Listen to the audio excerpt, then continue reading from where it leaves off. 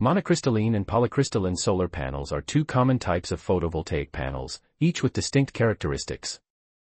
Monocrystalline panels are made from a single, continuous silicon crystal, giving them a uniform appearance with a dark black hue.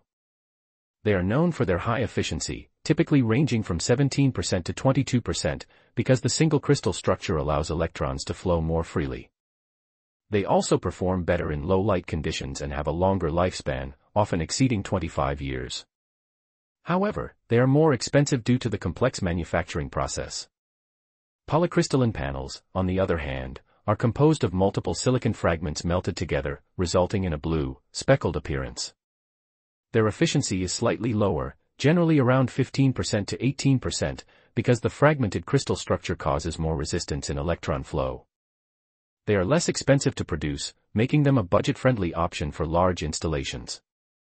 However, they are less efficient in extreme temperatures and lower light conditions. In summary, monocrystalline panels offer superior efficiency and longevity but at a higher cost, whereas polycrystalline panels are more affordable but with slightly lower performance. Choosing between them depends on budget, space availability, and energy needs.